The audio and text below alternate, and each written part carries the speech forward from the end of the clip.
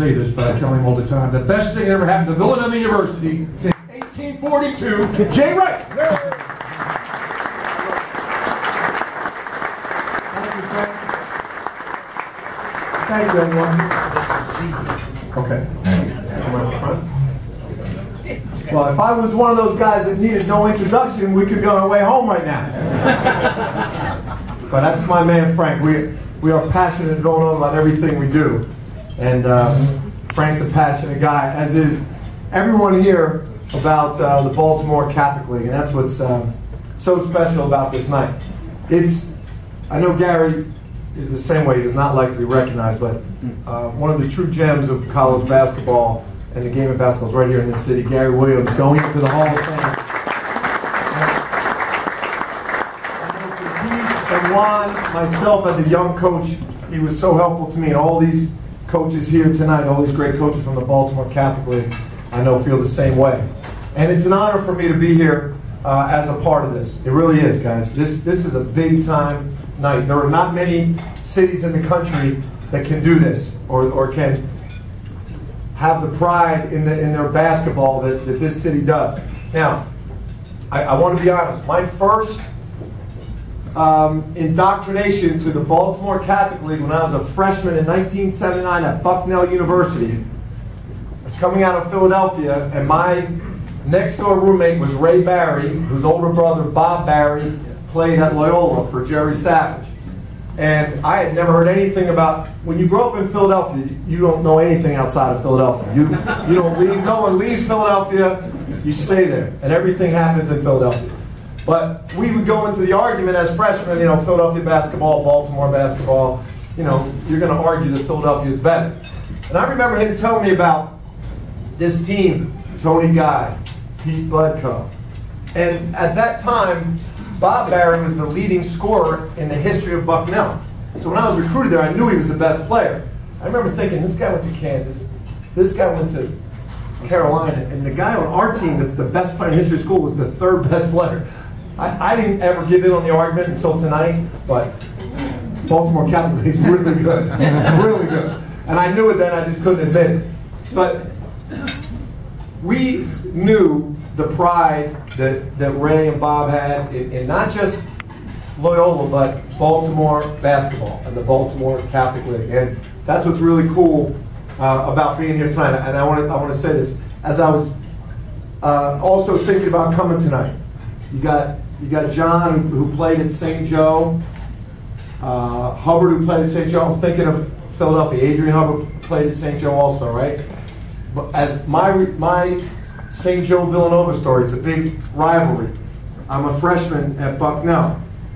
Bob is a, is a senior at Bucknell. We're playing at St. Joe in the field house. I was a star in high school like everybody. We go to the game, and my friends all come to the game to see me play, but I know I'm not getting in the game. And they're up in the stands in the first half, and they're chanting, We want Wright, we want Wright. Now, St. Joe at that time was really good, and I'm not getting in the game. We're going to the second half, and they're getting louder. We want Wright, we want Wright. And I'm embarrassed. This is embarrassing. These guys don't know, but at, at, at the college level, I'm not that good. We get close to the end of the game. It's a 12 point game. St. Joe's pulling away, and they're really loud. We want Wright. We want Wright. So, three minutes left. Coach Woollum, Charlie Woollum, comes down to the end of the bench and he goes, Wright. And I stand up, I rip off my Willem. He goes, Go up there and see what they want. that's, that's my St. Joe Villanova story. Everybody has to hit the big shot. That was mine. And I, and, I, and seriously, I thinking about coming here tonight. You know, we all have our, our iPhones, and you, you go, where do I have to be tomorrow night? You know, and I'm looking today at meetings and recruiting, and okay, then Baltimore Catholic League dinner. And I was looking at it last night in bed before I went to sleep, and it had to stick in my head as, as I fell asleep because I had this dream. You know, I'm thinking about, you know, I'm going to see Juan Dixon, you know, and and we're so proud, you know, if you talk about the Baltimore Catholic League in basketball circles, I think if you talk across the country to coaches, I, I really believe this. The best combination, combination of toughness and basketball IQ. I would say this is the best combination in our country. You might find a little bit tougher someplace, maybe a little bit better IQ, but there's nowhere in the country in a league that you would find that perfect combination as the Baltimore Catholic League. And I think it speaks to the coaches, the families, and the pride and tradition you play here. So we have a great pride in the fact that Phil Booth is coming to Villanova, having played for Pat Clatchy, and we know what we're getting that way. Toughness, intelligence. So I didn't get to see Pat Clatchy tonight yet. Is he here? Is Coach Clatchy here? So this poor guy, I had to call him, you know, I hounded this guy for Phil Booth. So fall, falling asleep, it was in my mind, and it, it, it must have gotten in my dream. So I died, in my dream, I dreamt that I died and I went to heaven. And when I got to heaven, the first person I see in heaven is Phil Booth. And St. Peter is taking me through heaven. It's beautiful, and Phil Booth is in heaven with walking with a pretty unattractive woman. And I said to St. Peter, I said, oh, this is beautiful, but why is Phil with this unattractive lady? And St. Peter said to me, Jay, uh, Phil only got into heaven by this much. So for the rest of eternity, he's got to walk around with this woman.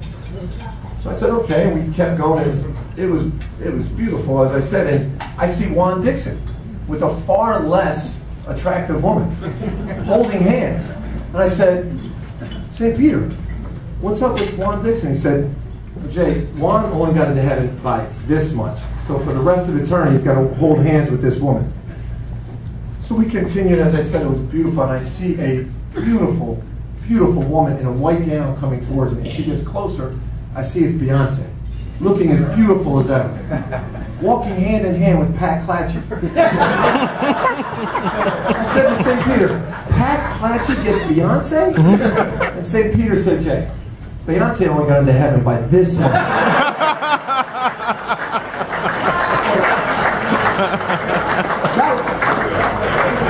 That, tell you what I was thinking when I fell asleep last night. But really, what, why, why am I here? Here's, here's the truth. Here's the truth. If you ask any college basketball coach in the country, would you like to come to this dinner? It's an honor. It's an honor to be a part of this great tradition, these great coaches, these great players. I consider myself tonight the representative of college basketball and college basketball coaches. Just to be here and be a part of this and to honor the great players, Coach Robertson going in tonight, to honor these people because any college basketball coach would kill to be a part of this. this we respect the Baltimore Catholic League. And we say to our players all the time, keep your eye on your future. You want to dream, you want to have goals, you always want to be the best and think positively about what's going to happen in the future.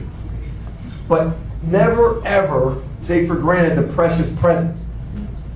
Be here now. Enjoy this evening. Enjoy the challenge. Enjoy the people you're going to meet when you're playing. Enjoy every game, the struggle, the battle. Enjoy the precious present. But never, ever forget where you came from.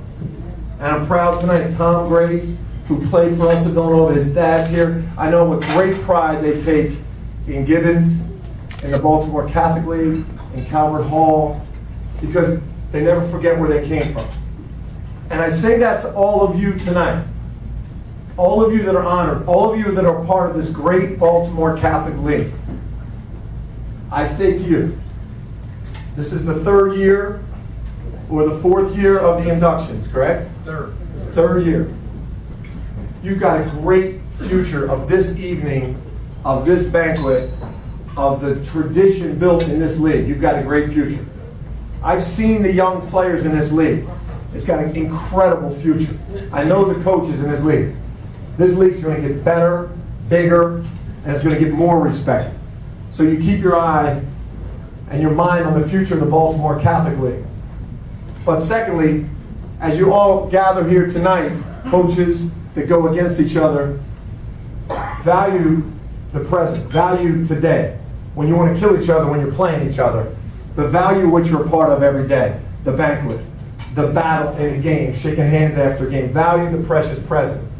But most importantly, this is what this night does. And we all have other places we can be, we all have other events we can support. But if you're a part of this league, never ever forget that you come from the Baltimore Catholic League. There's nowhere in the country where there's coaches, players that play at the level that this league plays and keep the tradition and the pride in the league, the names on the back of their jerseys and the league they play for better than the Baltimore Catholic League. So I say to you, keep your eye on the future of this league. Enjoy every day of it. But most importantly, inductees, coaches, players, never ever forget who you represent, who you are a part of. You are the Baltimore Catholic League, and never ever forget where you came from.